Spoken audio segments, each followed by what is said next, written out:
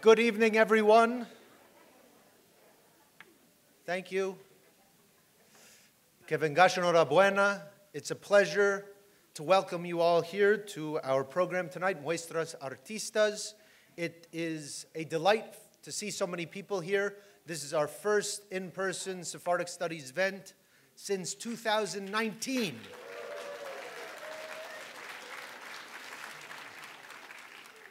Before we get started, I want to just express my sincere gratitude to the, Sephardic, the Sephardic Studies staff and the Stroum Center for Jewish Studies staff, especially Sarah and Brendan, Grace, Lauren, and uh, Jenny, who is our new Sephardic Studies Assistant Director, without whom none of this would be possible. So thanks to that team. I'm thrilled to see you all here and have the opportunity to come together to explore and celebrate Sephardic arts and to do so in honor of a community leader here in Seattle, Hazan Isaac Azuz, or as he's also known, Isaac Azos.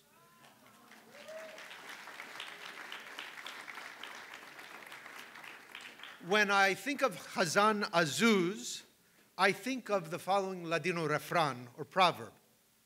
Quien en buena árbol se arrima, buena sombra lo cuvilla, which means whomever leans against a good tree is covered in good shade. Hazan Isaac Azuz is the sturdy tree in Seattle's Sephardic community, upon whom generations of Sephardim have leaned, from whom generations have learned, and who has inspired community members, scholars, and students to engage with Sephardic history, culture, language, liturgy, music, and more here in Seattle and across the world. So, a special appreciation of Hazan Azuz.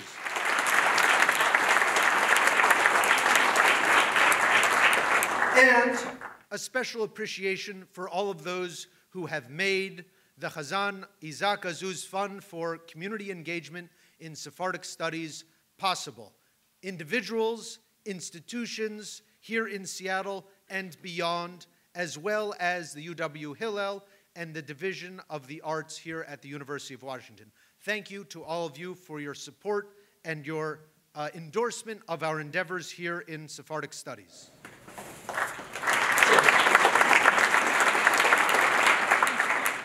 In honor of Hazan Isaac Azuz, today's symposium spotlights artists' production, uh, artistic production by Sephardim, by Sephardic Jews, in a variety of disciplines, in visual arts, poetry, prose, and music. First of all, to demonstrate that such artistic work indeed exists, that it is evocative, that it is inspiring, that is challenging and that it deserves our attention. There have been so few discussions of Sephardic arts in the public sphere, at the university, in part because scholars and the public have not believed that Sephardic arts exist. Yes, you may have heard of Modigliani. Has anybody heard of Modigliani? Okay the painter, or you might know of the Nobel Prize winning author Elias Canetti. Anybody know Canetti? A few. But who can name for me their favorite Ladino novelist, other than Jane Mushabac, who is with us today? Hmm, yes. Part is surely due to numbers, certainly in the US, where Sephardim are a tiny fraction of the country's Jewish population. The truth is that it's not just about numbers. It has to do with the worldview through which we see things here in the United States, a Eurocentric worldview that is also refracted in American culture, American Jewish culture, and the field of Jewish studies, which itself has been shaped by what some commentators refer to as Ashkenormativity, that's a real word now.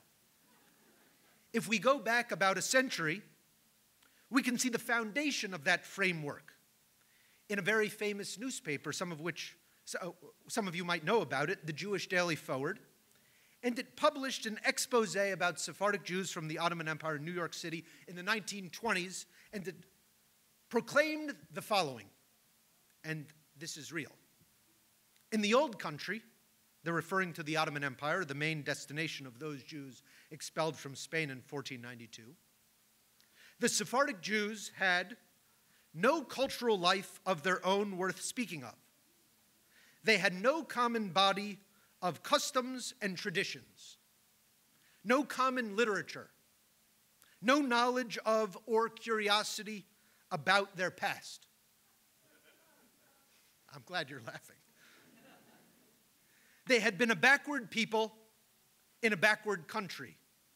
And how could they hope to progress in this country? That sentiment has largely gone unchallenged in the public discussion about Sephardic Jews and in the academic sphere as well. And that statement itself, I think, alone justifies the need for a Sephardic studies program and why we need today's symposium, at the very least, to prove all the haters wrong.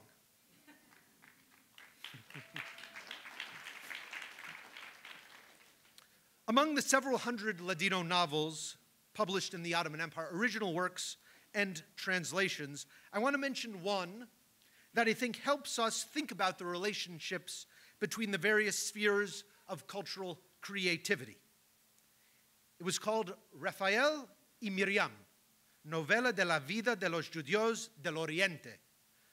Raphael and Miriam, a novel of the life of the Jews of the Orient, of the East. It was by Ben Isaac Sacerdote, probably a pen name, and it was edited by David Habib, and it appeared in Galata in Istanbul, then the capital of the Ottoman Empire, in 1910. We're working on a translation of this, and in fact, can anybody guess how many Ladino novels have been translated into English in the United States? Zero.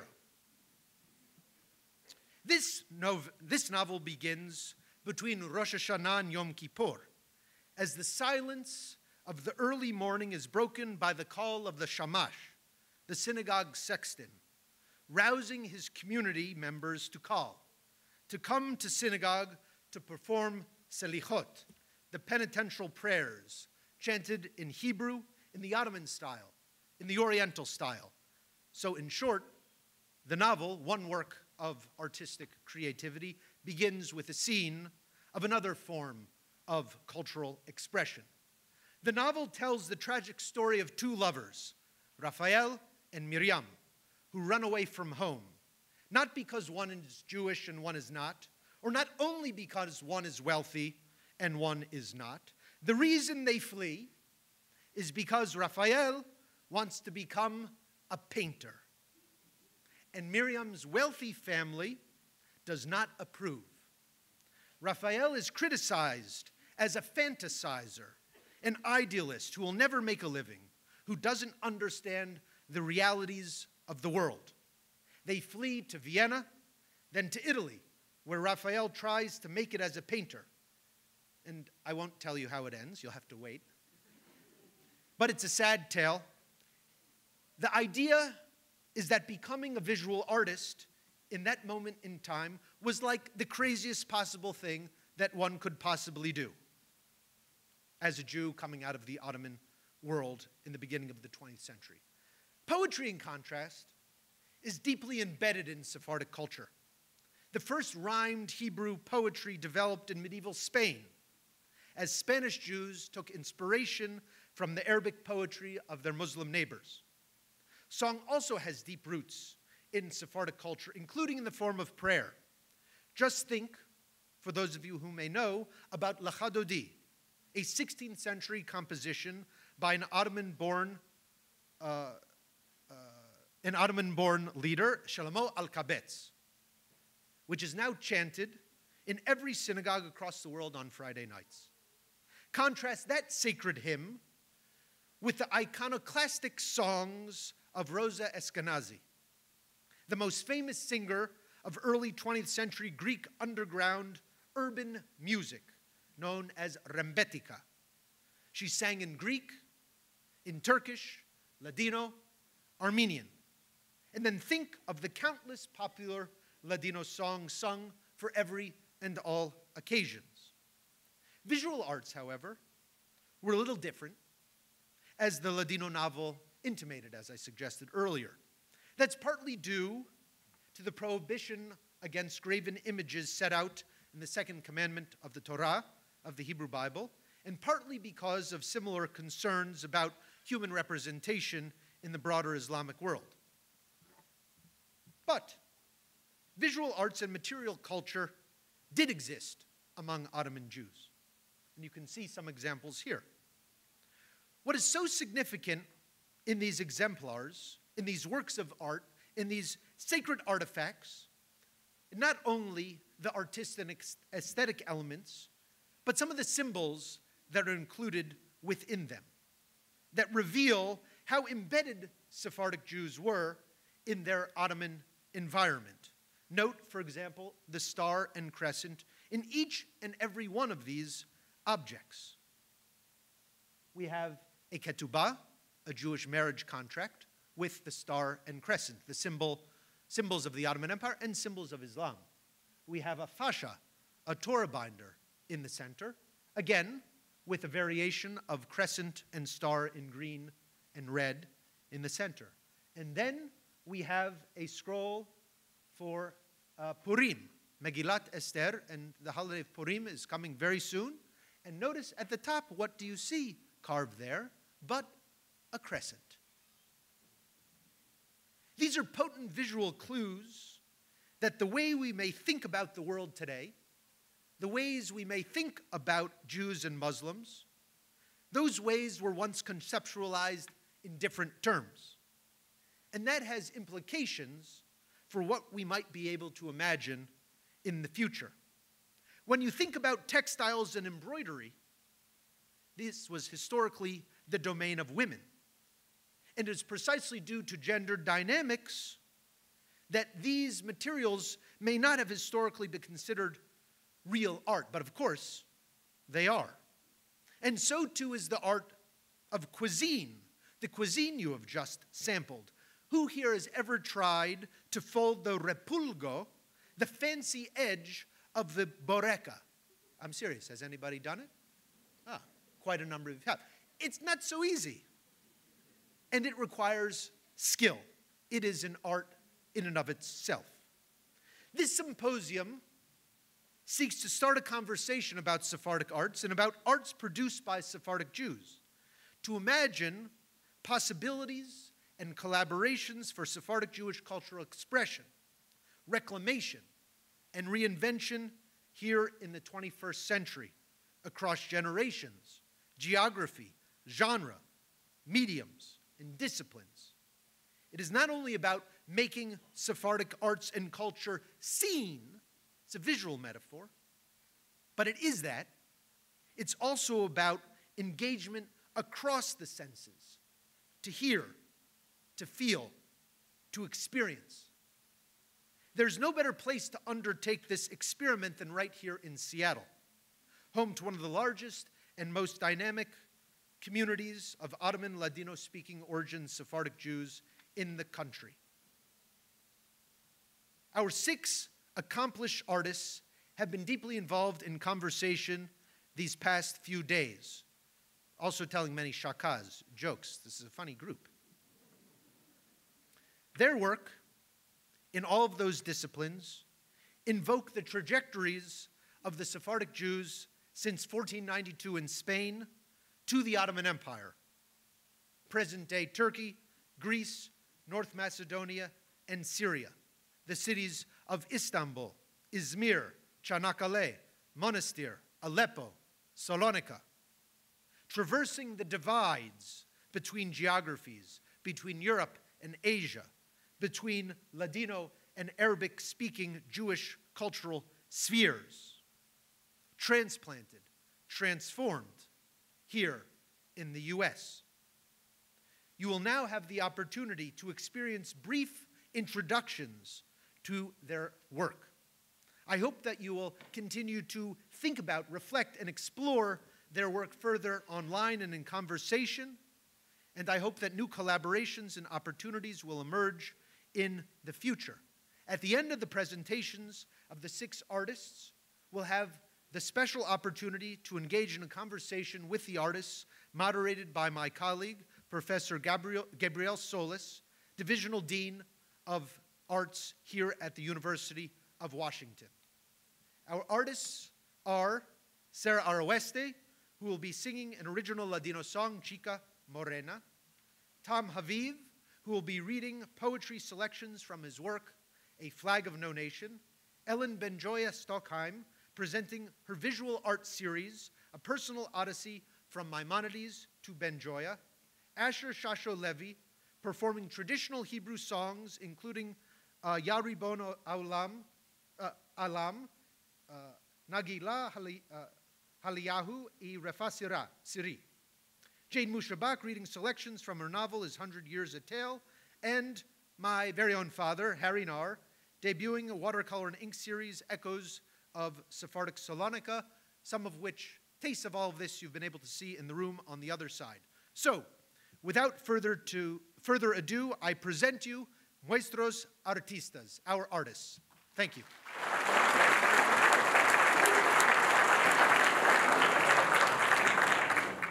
Good evening. So, I'm Sarah Aroeste, and my family is from Monastir and Salonika. And I've spent the last 20 years of my artistic career studying my Sephardic heritage. I've been doing so through music as a singer and as a composer.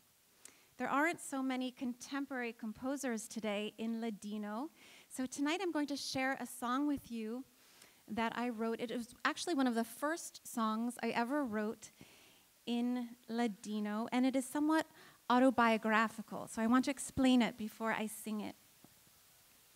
I struggled as a child growing up in suburban New Jersey to understand my Ottoman roots. And composing this song was truly the way that helped me understand my ancestry. It was a way for me to explore it. For me, family is at the root of all of the art that I create. I do it as a composer looking forward to my children. I have two beautiful young daughters, and I write understanding that what I put into song is my legacy to them and also for other future generations. But I'm inspired by the generations that came before me, my ancestors, who I was lucky enough to see in photographic form. We had many pictures that were brought over to the new country. But I also received the gift of very rare black and white, silent video footage of my family in Monastir and in Salonika in the 1930s. As I perform my song, you will see behind me this footage. My grandparents came to America during the Balkan Wars in 1912, and they were safely living here and when they returned in the 1930s, it was to celebrate their honeymoon. They went back to visit family and celebrate this simcha. In this video, you will see members of my extended family close up in Monastir and in Salonika, contrasted with these very fun, lively, carefree images of my grandmother and other places in Europe. They also visited Italy. So you'll see some Venice, a little Rome. And that is to lighten up part of this footage because we know here, sitting in this room, that when my grandparents returned to America, the family that was left behind that you will see in this video would all perish just a few years later. So, this song is called Chica Morena, which I wrote as I watched this video. I'm going to translate it for you so you understand what I'm singing. I am the dark beauty, the one with the long hair and the strong eyes, but with a happy heart. It feels I've lived more than a thousand years. I have crossed seas and borders. One day I will return where the warmth of my mother's land awaits me. I am the dark beauty who was abided by many kings, climbed ladders of gold, married into the world, and lived. I've kissed the feet of my children and the hands of my brothers. I'm following the voices of my ancestors to return to the garden of my mother, Chica Morena.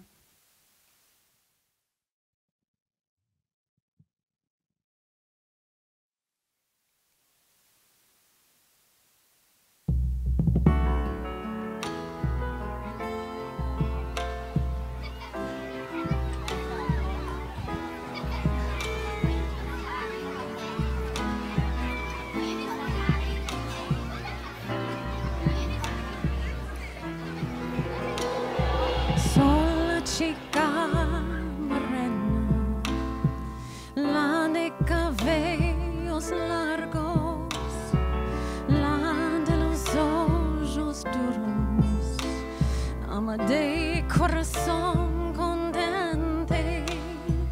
Tengo más de mil años, he atravesado mares y fronteras.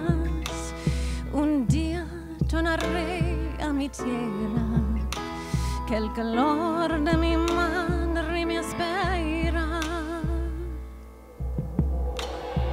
Morena me llaman blanca yo nací de pasear galana mi color perdí. Morena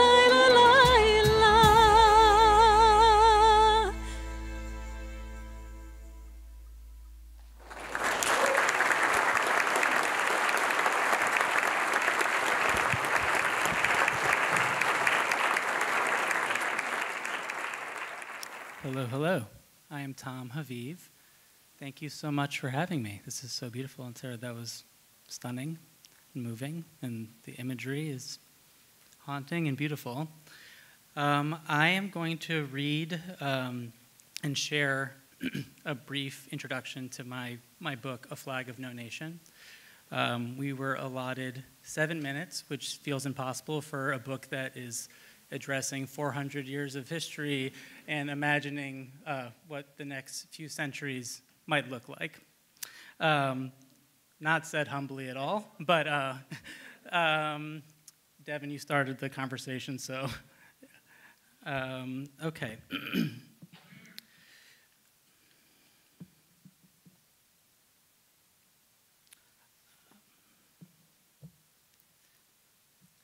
The book is dedicated to my grandmother Yvette Chaviv, born Carillo. She was born in Istanbul. Um, much of the book is an oral history conducted over five years uh, and recorded in video and audio. And I'll read a little bit about that process and the book in, this, in the introduction.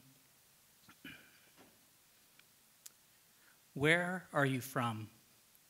The waitress asked my grandmother, after hearing the lilt of her accent. Cordoba, my grandmother replied in a breath, as if speaking on a stage to thousands. My grandmother Yvette was born in 1928 in Istanbul to a Sephardi Jewish family her relatives were from Izmir, Salonika, Adana, Athens, and Mersin. In 1949, she and my grandfather moved to Israel, where they would live together for 60 years. That day, however, in a cafe in rural Ohio, she said Cordoba, the city of her ancestors, Jews who had fled the Inquisition in the 15th century. Cordoba, an unbreakable story. A flag of no nation is my offering to a history that is only beginning to be written the story of Turkish Jews in the 20th century. It is fundamentally a work of myth making, of family folklore, of allegory, of visions of a world to come. The book is designed to be an instrument of dreaming and action, a talisman that helps its readers pass through barriers of time language, and distance through the walls of the political present and further beyond the walls of political imagination. Throughout the book, the reader will find Yvette's stories and poetry guiding us through her life across oceans of time and memory. Over five years, I recorded our conversations in audio and video and archived all of our emails. I present here her voice, word by word, changing only a few details for readability. The primary intervention is the line break, the shifting shore of text and absence, the trace of my listening, of my appreciation of her words and her voice.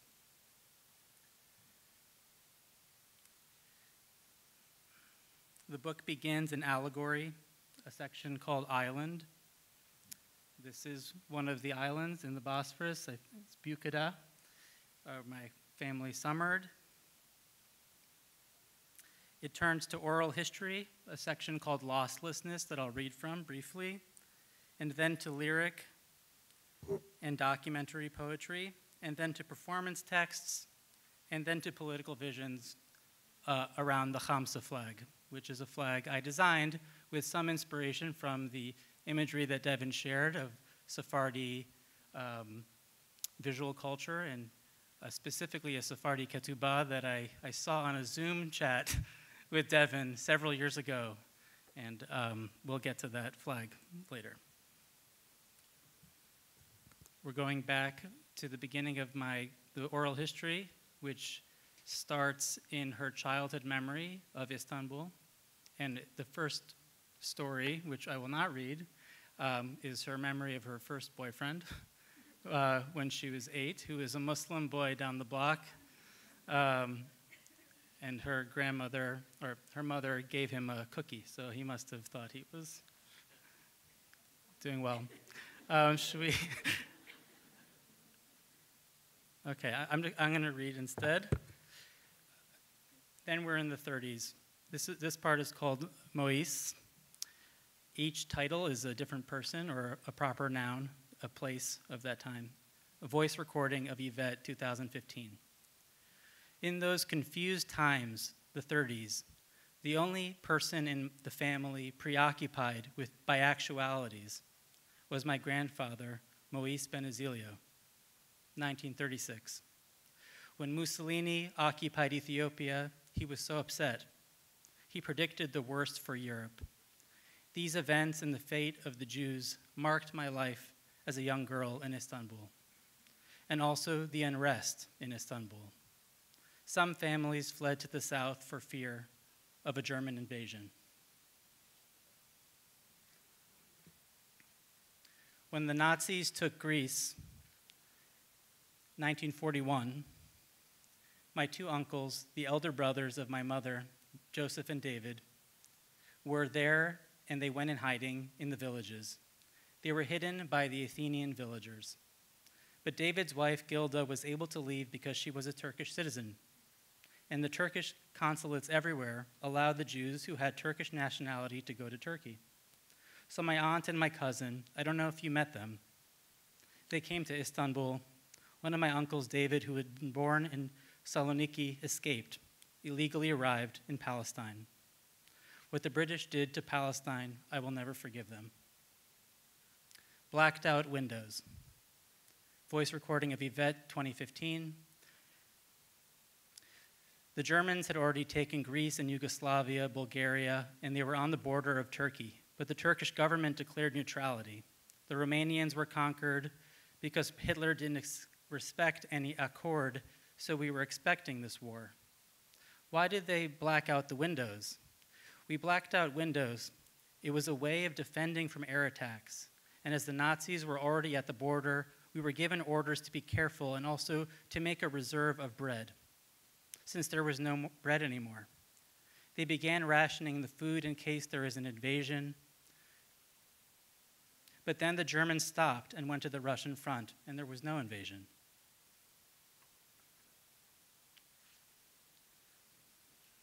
I'm going to read one more from the section on the oral history section called Mère Emmanuelle, which is a story I heard many times growing up. My grandmother didn't my grandmother went to a Catholic school, which was a, a more uh, well to do thing to do. And my grandfather went to an Alliance school, which was the Jewish schools that, uh, uh, across the Middle East. Uh, and in this Catholic school, there were Jews, Muslims, and Catholics.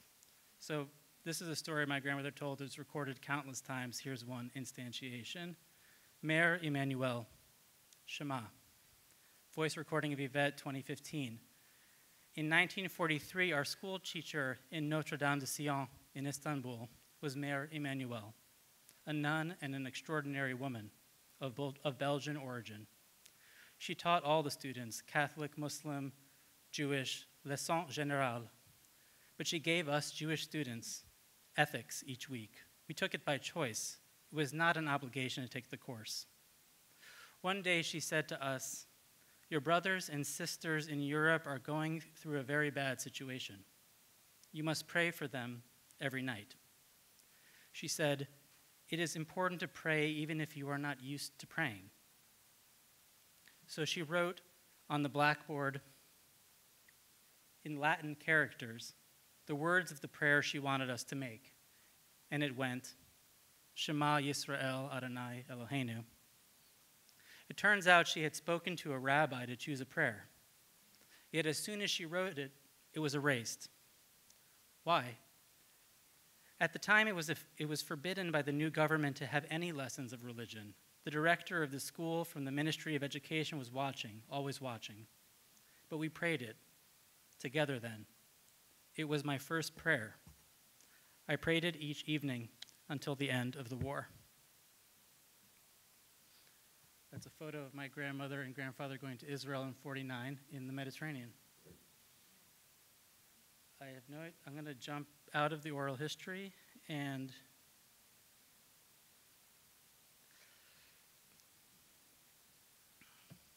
I'll read a brief poem. We, they, I. This is a section called um, An Arrow, a Wing, and it documents much that took place in the Holocaust in Salonika that was already mentioned tonight. Um, and it also chronicles my grandfather's early onset blindness um, as he was in the Foreign Service in Israel. So he, he passes away in the page before. We, they, I. We read the news, a sundered fruit. It is a hand tearing at leaves. They are everywhere. They are surrounding us. We, I, remember the words, Hebrew forms, Sheket, Maspik, Die. They remember, they forget, they sleep. We awaken, we lose time, we are lost. We rush, we regret, we fear. I, we remember him, his words echoing. Do they no longer love each other? She refers to herself by her maiden name, Kadio. Pear, apple, Habib, Kadio, a broken Mediterranean. I, they, we. I left my Jewishness for shame of a broken story. I returned to these details to understand what was lost. How we lost our pathway back through the hills, past an old border, new borders of mind preventing return. They are us, we are I, I am they, they is I, I is we, we is they. Happiness is an open palm, the sun pulsing at center. He gripped his chair in the balcony in Ramat Aviv. He listened to the melody of Ellington. He followed it out of the poem and out of his life. He was blind and he he would have to hold people's shoulder or hand to walk anywhere for much of his life. So that's where this comes from. I grip your shoulder. You grip my shoulder. We are blind. The white light fractures mind. To tell a story, you must break a story. The news is a hand tearing at leaves. To break a story, must you believe in a story too much or not at all? Is it to know some memory follows us so far we wonder, will it follow our children and their children?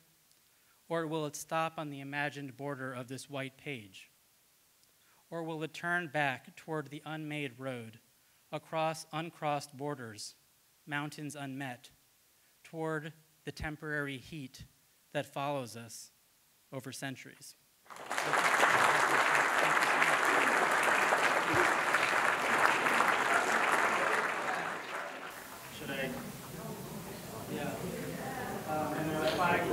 It's a flag for peace and solidarity between Jews and Muslims, um, and inspired by Ottoman Jewry and an expanded, uh, yeah, intersectional vision of what the Middle East, Middle East could look like, and uh, the shared symbol. I can talk more about it.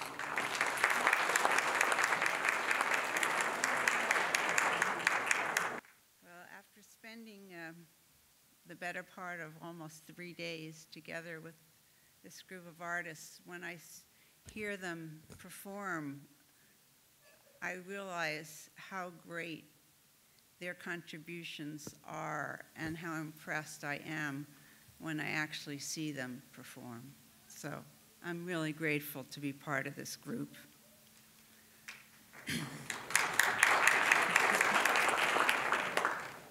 This is a personal odyssey from Maimonides to Benjoya. I thought it would start with the Inquisition in 1492 and end in 1968 when Pope Paul VI closed the office of the Inquisition. But that wasn't the way it went.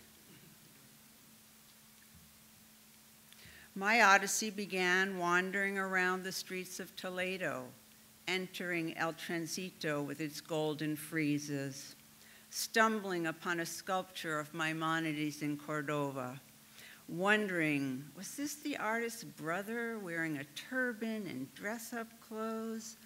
I read the guide to the perplexed and remained perplexed. My odyssey, oops, sorry. My odyssey took a turn to Egypt, into the crypt of Ben Ezra.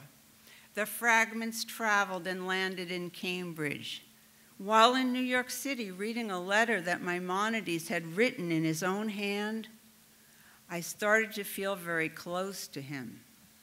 The places began to, the pieces began to fall together as I painted.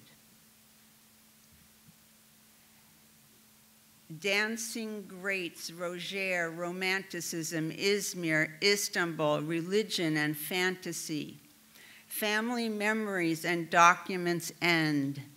The French painter Camille Rogier in 1847, he painted a picture of the Orient in the 19th century, scenes of domesticity, ermine in the wrong places, dance of the fiancé, a fantasy wedding in Smyrna, a Torah ark, and a map of the holy places. I really needed a map out of my fantasy world. I created this artist's book titled Izmir. This is the cover. It's a non traditional form of a book. It pre- preserves the Nahum Benjoya family through a personal lens, a 500 year history of Sephardic Jews, the degree of expulsion, Isabel, Ferdinand, 1492.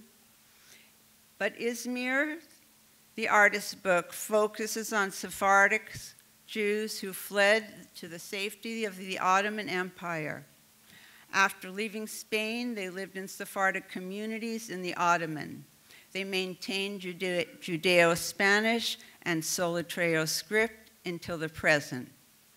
The cover of the book is a watermark that is inspired by Solitreo script.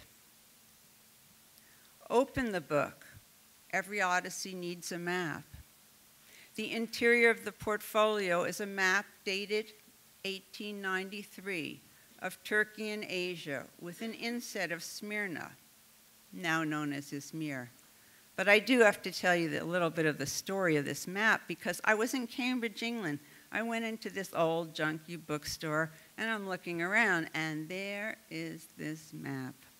Well, I have to say that I'd already made this book, the artist's book Izmir. I had formed all the pages, I had printed all the art, I had recorded all the text. My brother put it in, you know, he helped me put the text into words from the, from the recordings. Anyway, I got home and the map fit exactly in the book. Now, I don't, I, will let you explain how that happened. My family remained in Izmir for 400 years, and at the beginning of World War I, they emigrated to Cuba, South America, and the United States. Some remained in Montevideo and Buenos Aires. The pages of this book are not bound. I formed each individual sheet of Gampi paper to as assemble the book.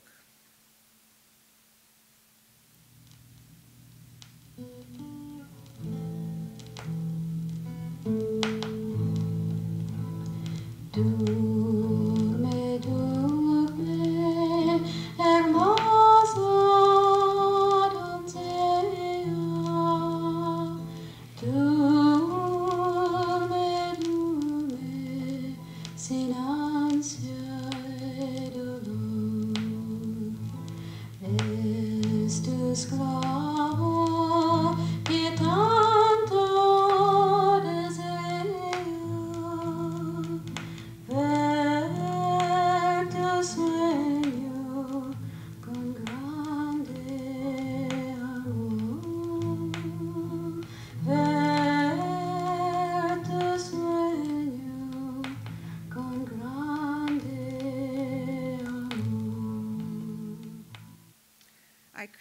This image of my grandparents, Dora and Isaac Benjoya. They emigrated to Cuba, but things didn't work out so well for them there. And they returned to the community of Sephardic Jews from Turkey living in Coney Island. Isaac Benjoya, a natural linguist, spoke six languages. He was a chef, a moving man. He owned a candy stand in Coney Island subway station. He helped found the Torah Israel Synagogue on 13th Street in Brighton Beach and the Sephardic Home for the Aged in Bay Ridge. Dora sang the songs from mother to daughter, from generation to generation, romances, lullabies of queens and princesses, of life and love, of longing and pain. She cooked the delicious food, the fasulia, the fideos, the borrecas, the fritadas, the travados de fila. She sewed exquisite textiles. She had manos de oro, hands of gold.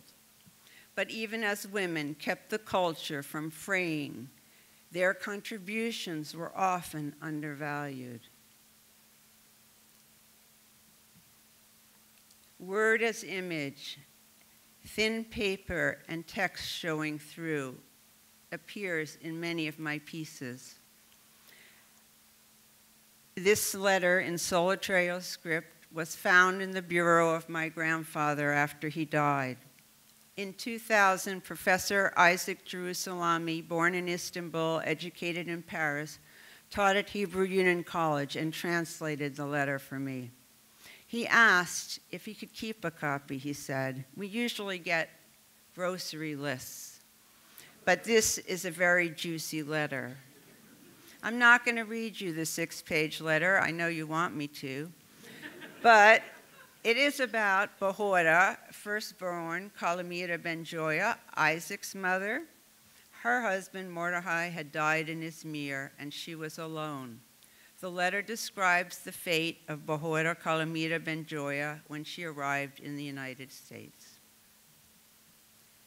Dora lost four children before Rachel, my mother, survived, and had three daughters born later Luna, Kalamira, and Estrella. Rachel attended Abraham Lincoln High School in Brooklyn and graduated from Brooklyn College in 1944. She went to graduate school at the University of Pittsburgh, a remarkable accomplishment for a child growing up in poverty with traditional roles for men and women. Rachel collected the photographs and the documents that are included in the book, in the artist's book *Is Izmir. Her lifelong study of Sephardic language and culture is the inspiration for the book. She recorded memories at the University of Arizona College of Music, my Odyssey contains memories, poor immigrants, photos fading, documents crumbling, and textiles unraveling. Izmir the book is important to my family, and I hope important for the future of Sephardic culture. Gampi paper was used for ancient text. Individual sheets of Gampi paper were formed for the original art and the text of the book. All the materials in the book are made of archival material that can survive for the next 500 years, if, and there are many ifs in the future. In the book, there are 40 prints and 22 pages of my mother Rachel Benjoya's memory. Please read the entire book online and view all the art on the website. And if you have a time to look at the vitrine, in the room we were in, please take a look at that. And don't forget to go to the website and read the juicy translation of the letter that started my odyssey. Thank you.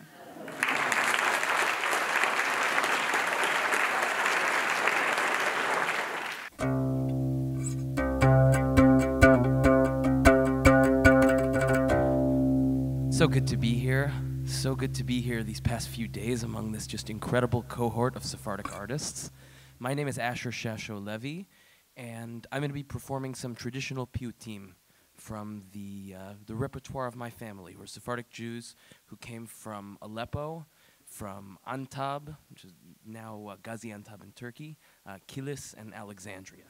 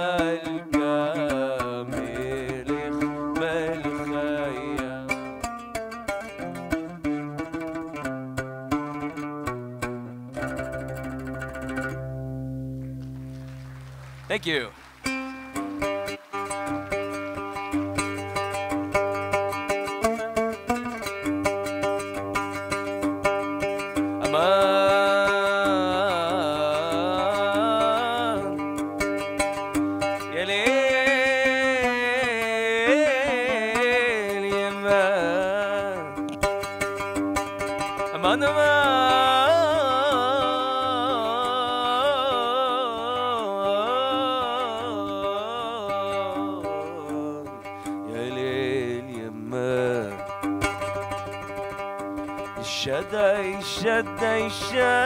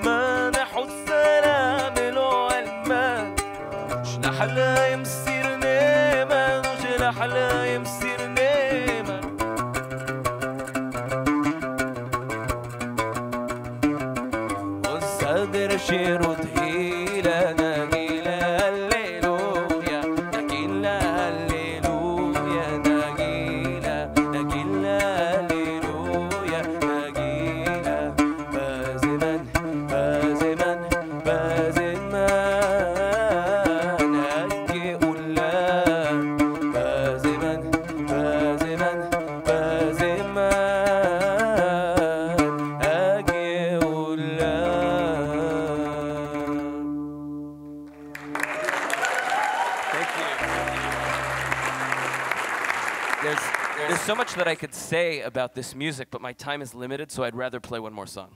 So you can ask me questions later, but uh, suffice to say, these are all songs that I learned uh, from my family growing up that are part of the, uh, the Syrian and general Ottoman Jewish repertoire of songs. Um, the first song, Yari Bon Alam, uh, second one, Nagila Hallelujah. Some of them are more modern compositions musically, some of them are older. This last one, Refasiri El Ne'eman, is a beautiful, a beautiful piyut of healing that was written by the uh, Aleppan rabbi Raphael Antebi Tabush, and he took the melody from a, uh, from a Ladino song.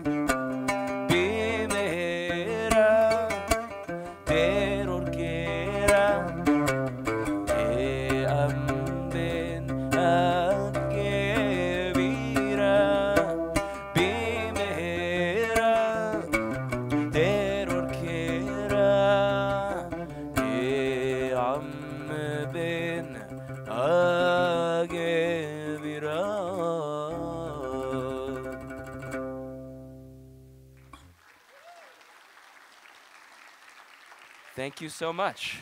And again, what a, what a joy to be a part of this truly historic and remarkable event, gathering so many incredibly talented uh, Sephardic artists. Uh, what a joy, what an honor. I'm Jane Mushabac, and hi everybody. I love this group of artists, and I love this terrific audience. I'm going to read a chapter from my novel. The name of the novel is His Hundred Years a Tale. He, the main character, is a Turkish Jew, and he has an unusual passion. He loves selling. This is not unusual in the Middle East, in Turkey, but that is his passion. He's a peddler in the Ottoman Empire and later in New York.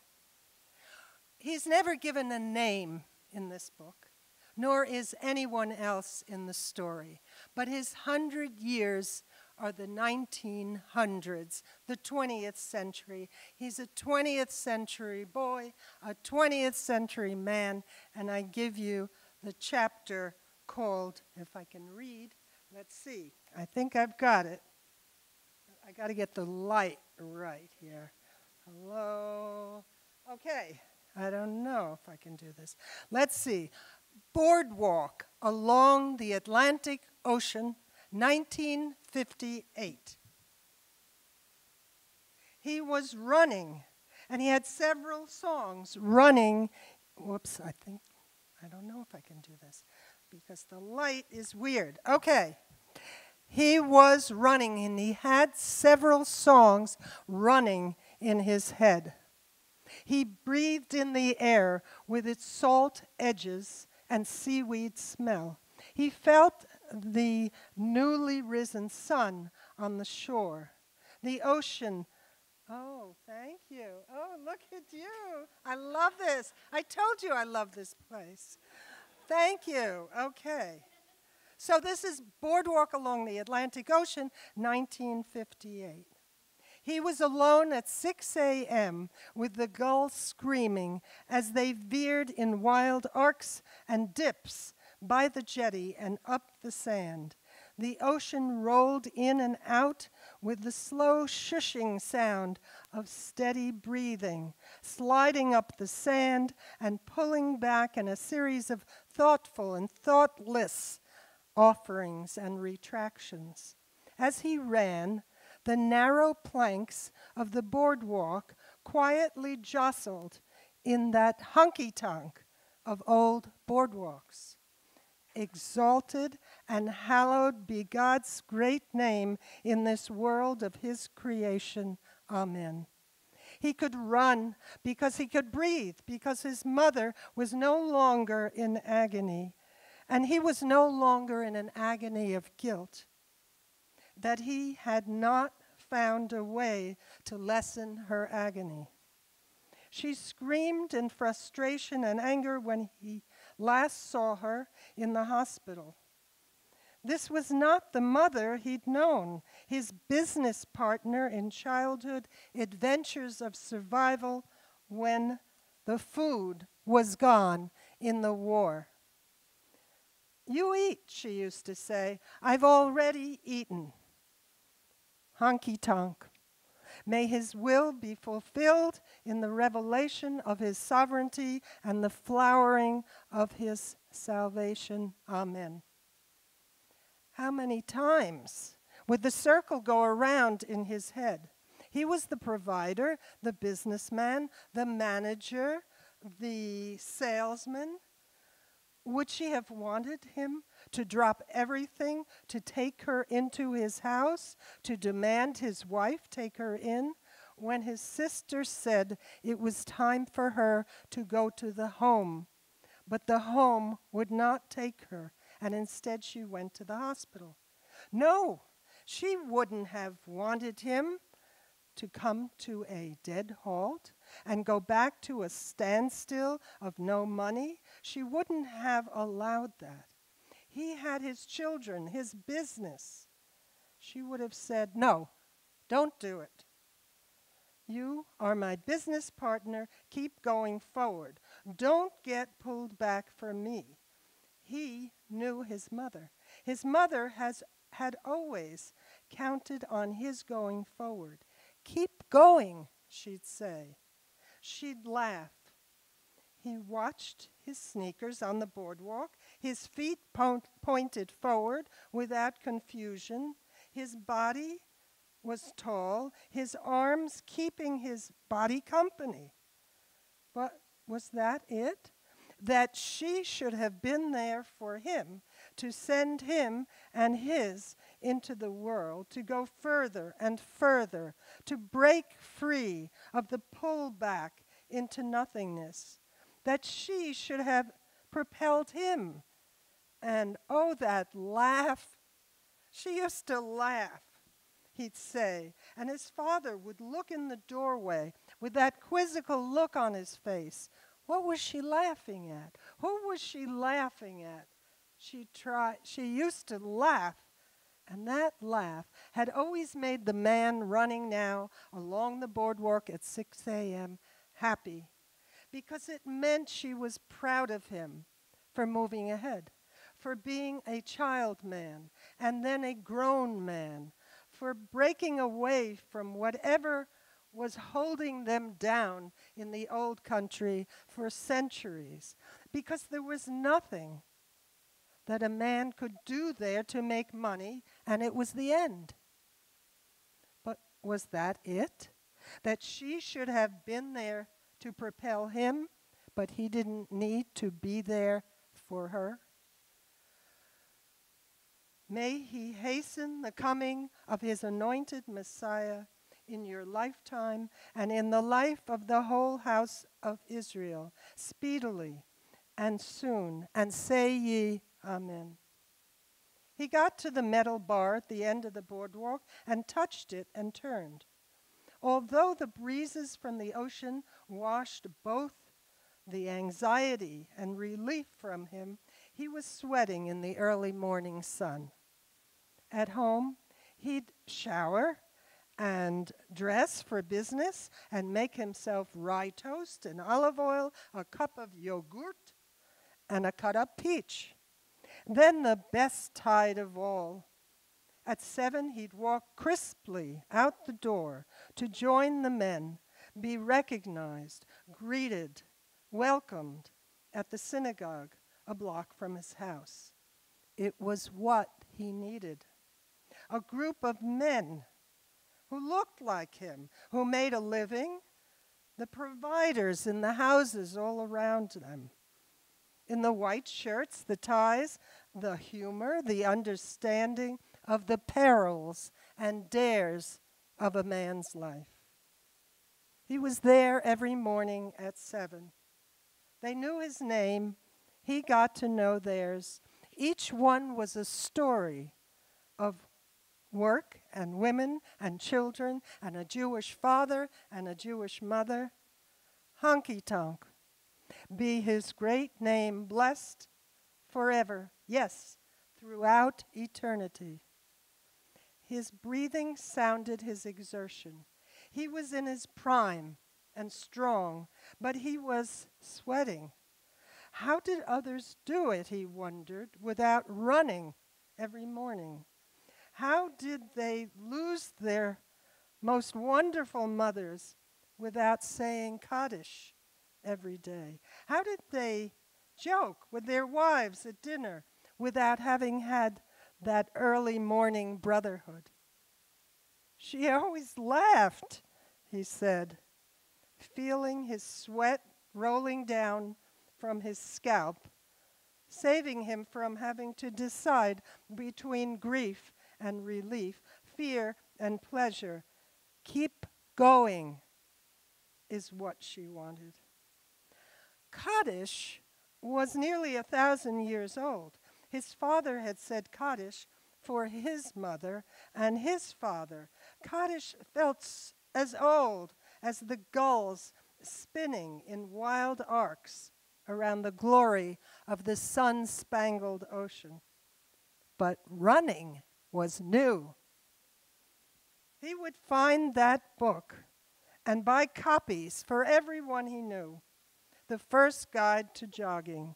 And for the rest of his life, every morning, he would jog on the boardwalk, on the city streets, on his living room floor, in his socks when he was 98. The men in the minyan were there for him every day, just to be there with him and each other to pray. Not to sell insurance, not to manage an office or agents, not to inspire, not to provide.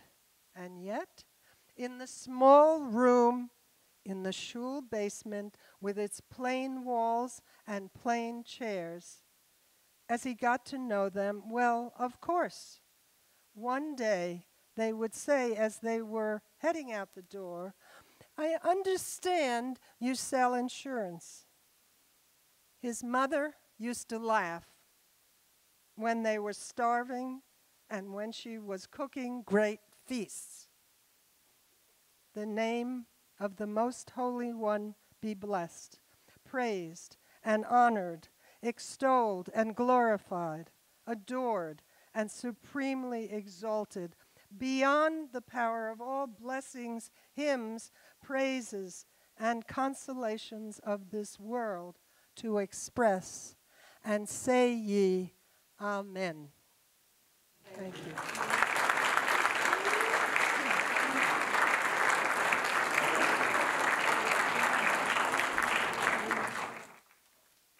My name is Harry Naar, and um, I want to thank you all for being here today. This has been for me, and I hope for all of you, a wonderful, wonderful experience. Modigliani, Marc Chagall, Mark Rothko, Louise Nevelson, Adolf Gottlieb. These are all famous artists who are Jewish. But is there Jewish art? Back in 1960, art critic Harold Rosenberg reflected on this question. He suggested that there is a Gentile answer to this question and a Jewish one. Some non Jews would say there is a Jewish art, while others will say there is no Jewish art. But the Jewish answer is what do you mean by Jewish art? I'm a Sephardic Jew. I grew up in a Sephardic home, and I am also first generation American. My father was born in Salonika, Greece. His parents, five sisters, three brothers, immigrated to the United States in 1924. Another brother, the oldest, remained in Salonika, and he and his family ultimately and sadly perished in Auschwitz. Most of the family, and, and over here is a picture of my grandparents, and the large image of them is typical garb that they wore. And then to the right is more contemporary clothing. And down at the bottom here is Congregation Etz Chaim, where my grandfather became the first uh, rabbi. Most, most of the family, fortunately, came to the U.S. because my nono, my grandfather, Chaim Benjamin Naar, was invited to become the first ordained rabbi at Congregation Etz Chaim in New Brunswick, New Jersey. He also practiced Kabbalah, and here is an actual uh, image from one of his journals. As a small child, I remember being captivated by his diagrams and pictographs.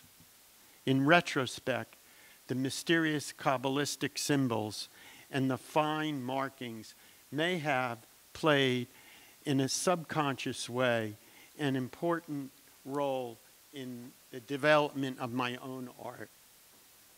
It is through the building of marks, whether with ink or with paint, that I created images. And here's a, a large drawing that I did made with a felt tip pen. And this is from this area here of Ravenna Park. So I'm a representational artist. For over 50 years, I've created visual images, mainly still lifes, landscapes, and figures.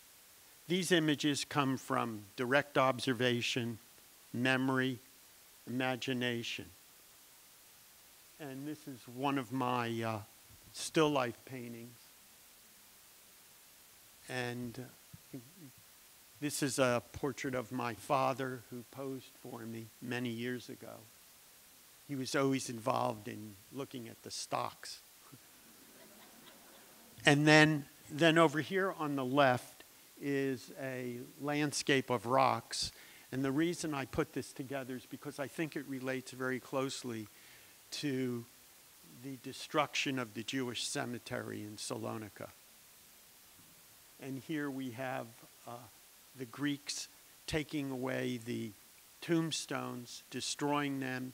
And if you go to Salonika, you can see many of the tombstones still being used as rock, walkways or linings of interiors of swimming pools and things like that.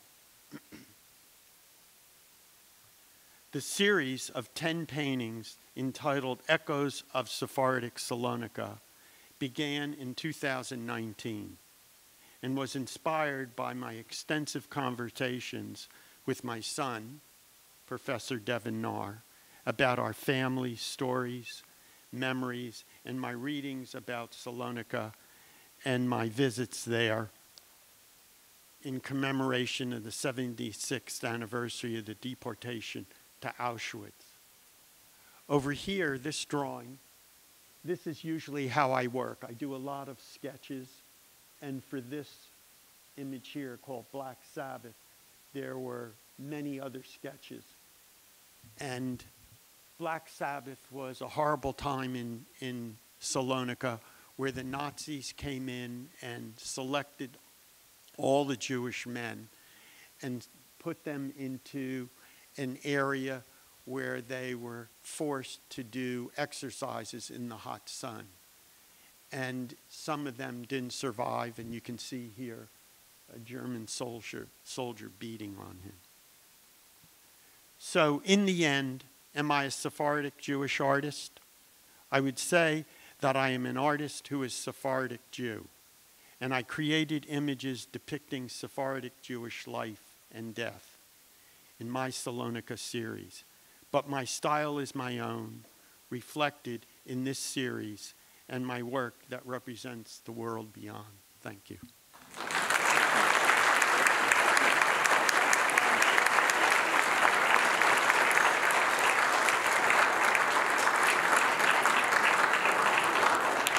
I'd like to invite all of the artists up, and we're going to have a panel conversation led by my colleague, Professor Gabriel Solis. Okay, thank you. Well, uh, as we're getting seated, uh, just maybe one more time, uh, join me in just a huge recognition of how remarkable that really was.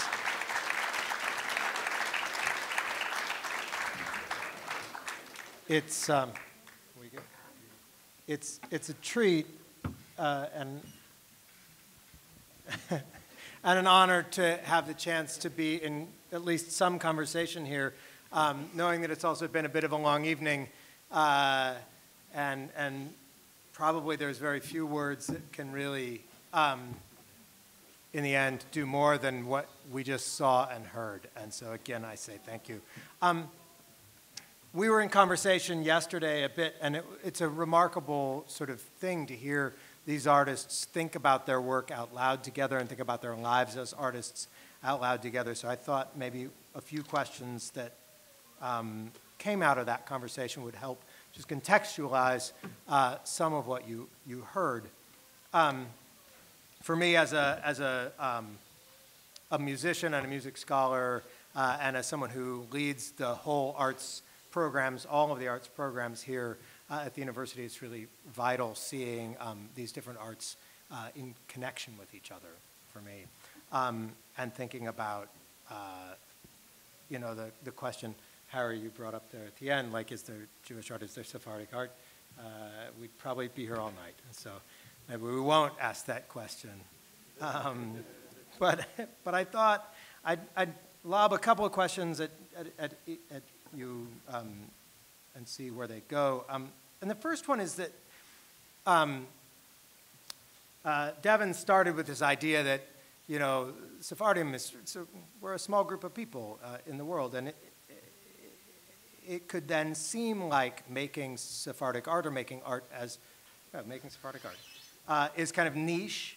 Um, it's a word that came up in our conversation, uh, but it seems like it's also a thing that expresses universal experiences and much broader things. Um, so I, I, wanted to ask maybe Sarah and Asher if you, you wanted to speak a little bit about the way that you you see your work as expressing uh, to an audience, either in a, in a way that's a kind of niche uh, and directed, or, or broad, more broad and more universal in its, its themes and capacities.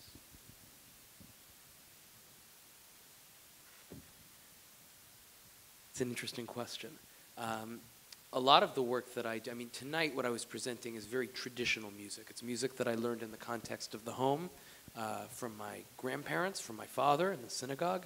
Um, and so when I'm, excuse me, so when I'm presenting that sort of music in that context, I feel that it's, in some sense, it's less of uh, my art as like a creative expression and more as a, a, sort of a carrier for a conversation about my, uh, my tradition and, in, sort of an entryway, a portal into this world. So the, the niche aspect of it is actually uh, uh, I think it, it, it's something that makes it compelling. And so when I've played performances of, of piyutim and Sephardic music, liturgical music, like very specific internal repertoires that you'd only be hearing normally in the community, and bring it uh, out to you know a secular venue or something that has nothing really to do with anything Sephardic, it can really be uh, a point of contact.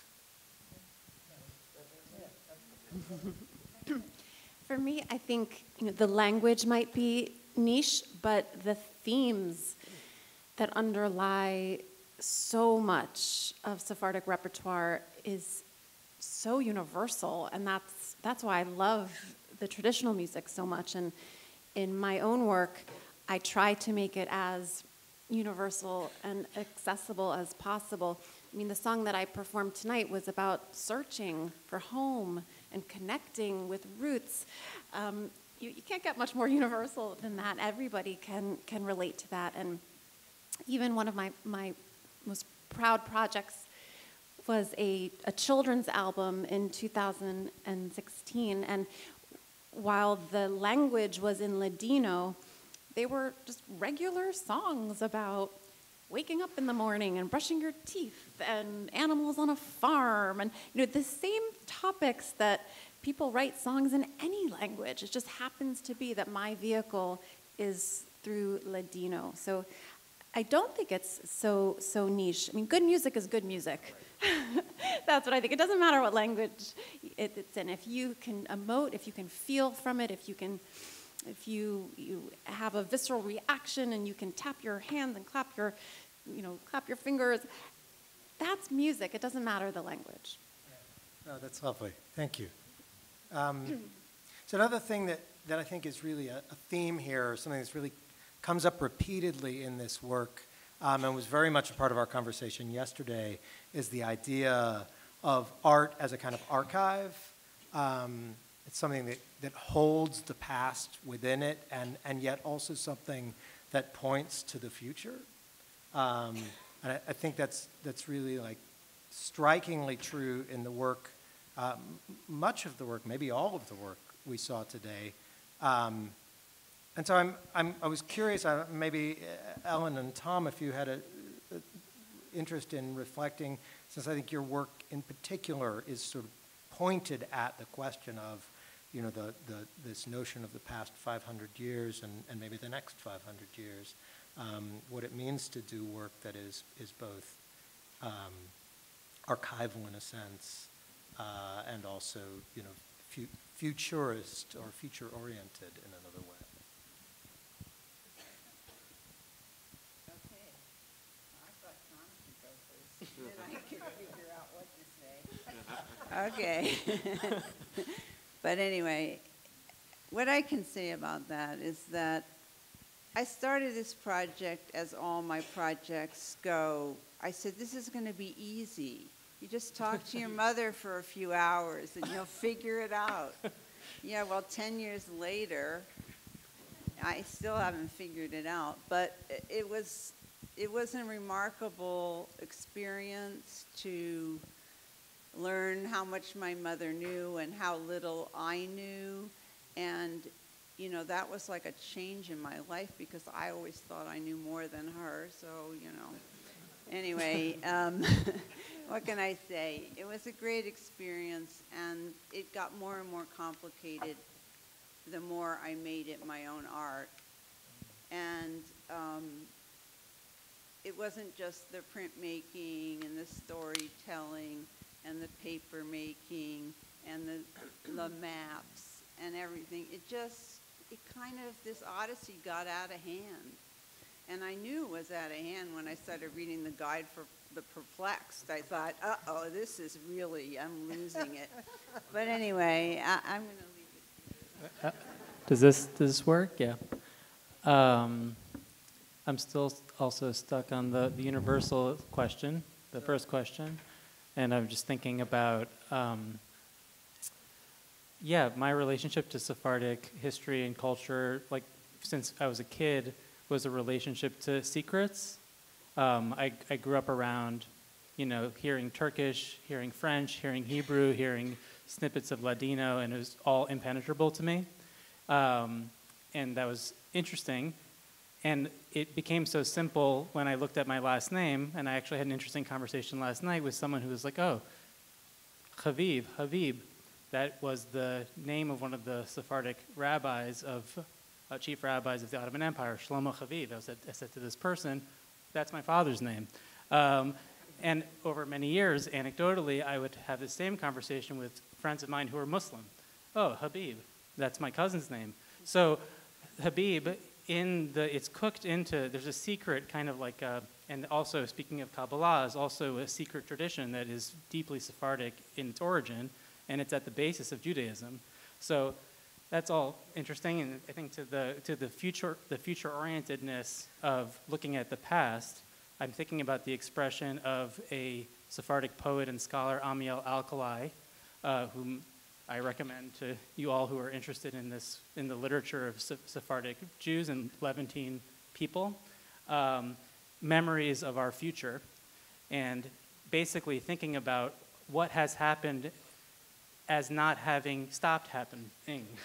you know, that what has happened in the past is layered in the present and has is, and is layered in many different ways. Some of it is layered in terms of just the texture of what we see, and some of it is repressed and made invisible. We've talked a lot about what is invisible in Sephardic culture and larger Jewish culture and in, in, in the Muslim world, which is a complex story that is, yeah, that is beautiful and also tragic. So I think I've, I've thought about the expression Judeo-futurism, Sephardi and Mizrahi futurism in relationship to other futurist traditions uh, in American, in, in, in, in- in art history.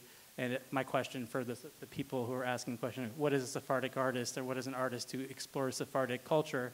Um, yeah, what does ancestral tradition have to do with envisioning futures is primary for, for me. It's a little circular, but it No. is circular. It's nonlinear. But that's, that's the thing, right, about the past and the future and the Yeah. present is they're all, I don't know, a flat circle or something.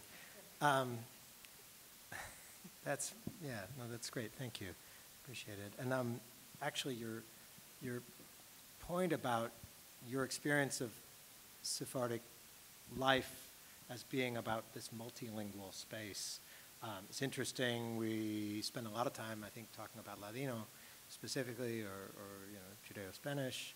Um, but I was interested in our conversations. Uh, uh, Jane, you were talking about the ways that your sense of uh, working as both a writer and a teacher, um, you also shared that sense that, that the, the multilingualism of America is also part of your experience of like the multilingualism of being Sephardic and that, that this was really generative for you. And I was, I was just curious um, to hear, hear a little more about that. And I thought people might be interested in the ways that you think of language uh, and, and multiplicity, I guess, Multiplicity, as a Sephardic experience. Thank you. Yeah, multiplicity, oh, thank you.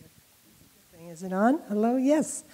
Uh, yeah, sometimes I wonder uh, if it's possible for Sephardim to get anything done because there's so much multiplicity.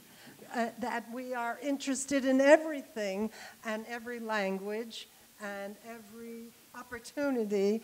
And there, there is that love of multiplicity that is built in from the Sephardic diaspora and from, I don't know, something genetic or something intellectual that is so open to the world that it, it can be hard to slow down and write um, a novel.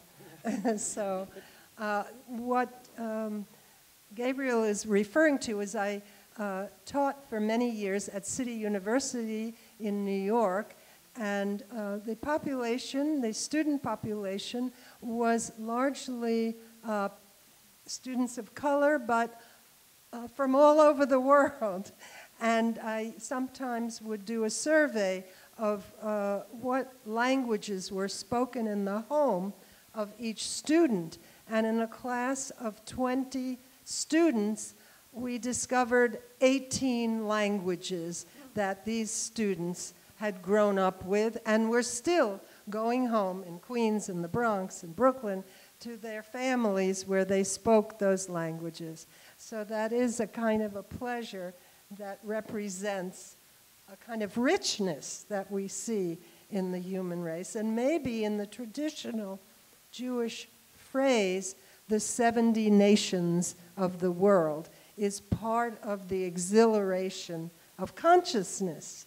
That you're not just in your own skin and in your own history, but you are aware of this. It's very exhilarating to have that awareness, and that's, that's, part, of, uh, that's, that's part of the thrill of being open to these foundational aspects of Judaism, that we care about the 70 nations.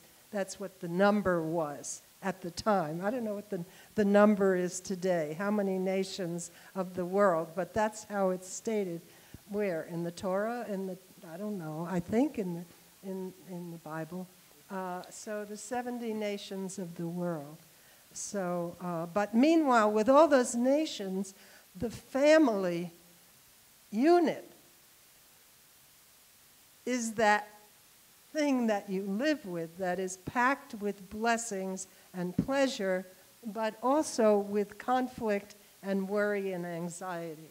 So that's how I focus my mind about, as in that character, uh, trying to run away from his grief and continually coming back to the Kaddish to, to meet his needs, to feel all of his feelings about losing his wonderful mother. That's lovely, thank you. And um, certainly, I think this idea of, of the, the delight in knowing others' stories and, and really um, focusing not only on ourselves but on, on the, the, the richness of, of the rest of the world is, is, is a part of the true experience we get from art, right? That this evening uh, you've all shared. I mean, there's a, something really lovely about that. Thank you. And um, uh, Harry, I'm, I'm tempted to ask you to come back to the question of whether there is Sephardic art, but um, since you asked it. Uh, but I, actually, I wanted to ask it slightly different way. Um, uh, knowing that you're, you're an artist, you're also an art historian, uh, you're also you're a teacher, um, you've been involved in, in thinking about and curating this kind of thing for a while. And um, I'm interested, given the somewhat uniqueness of this particular collection of folks uh, and the time you've all had together, how, how this project has uh, helped you reflect on your own art, um, and, and whether it's changed your view of what you do and, you know, what you want to do. Um, that's a, a difficult question to answer.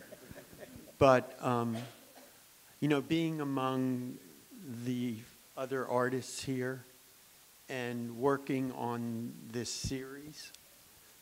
Um, in, in many ways, the series starts with um, a kind of reflection on the Salonika of the past, and then the horrors and tribulations that my family went through and the people of Salonika went through, and how Salonika is no longer like it used to be, and how on Shabbat the city and the port would close down because of so many Jews.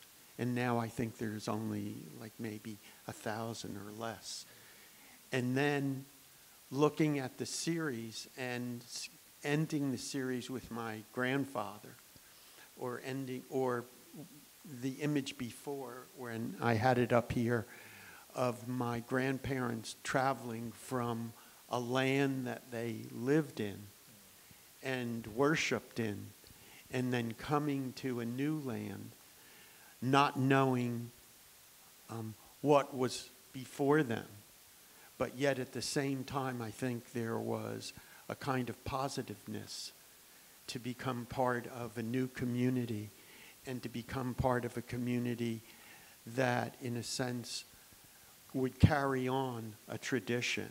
And so, even though there was horror that they were leaving, living and leaving, that that horror did not get in the way of their positive feelings about being Jewish and being Sephardic and hoping that this new land would allow for a new kind of richness that would occur. Now, to answer the other question about my own work, um, I, th- I think it, it has played a significant role in the sense that maybe other images of mine will relate much more to my heritage and to the spiritualness of what I grew up in. And, and who, know, who knows, maybe I'll continue this series. You know, I, I sort of see the series, and I think Devin does too, as a possibility for a book. You know, in that sense. I hope that answers your question. Thank you. Yeah, I mean, I, I, I think, certainly I hope others have had this experience of being kind of transformed by it. I've had little chats with each of you, or some of you, about that question about like, what, what was this, these two days for you? And I, I think, you know, it seems like it's produced some really vital, valuable, and, and impressive kind of results. So well done, Devin, I guess, uh, or something like that. Um, and you all. Uh, I've been told, you know, we're most to, meant to wrap up at 9, and it's 9.01. Um, so, uh, you know, if, if anyone has a last word they want to add, um, it's, it's now or. Yes? Yes. Yes.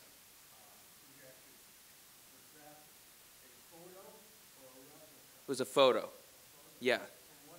Uh, well, I, I, I couldn't tell you because I wasn't looking at it, but there were two photos of synagogues that I chose to, to have uh, included uh, on my poster. One was of the Ades Synagogue in Jerusalem, which is uh, the Ades Synagogue in Jerusalem, which is the center of the Aleppin tradition of Chazanut.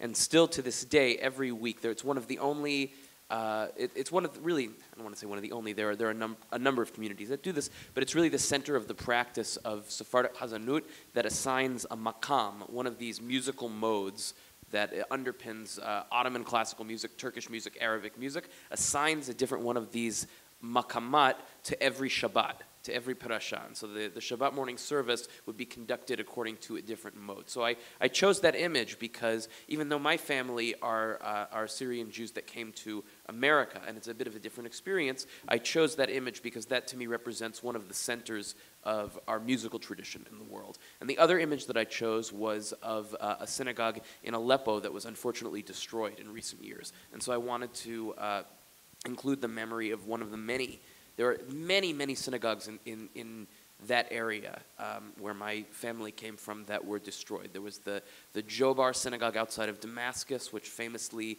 was said to be a place where Eliyahu Hanabi, the prophet Elijah, went into, fled into in, in his travels. And all of these places carry so much, so much memory and so much, uh, you know, importance to, to the tradition. So I wanted to, as I was uh, playing music that evokes what would have been, you know, sung by my ancestors, you know, in prayer in those places. I wanted to give a little bit of the visual context for what, what those synagogues look like. Okay. Of course. Well, I know there's probably a pile of questions we'd all like to ask. I know I have others written down here, but I, I think instead I'm going to say uh, memory uh, is probably the right note to end on. So thank you, and please help me thank this amazing group.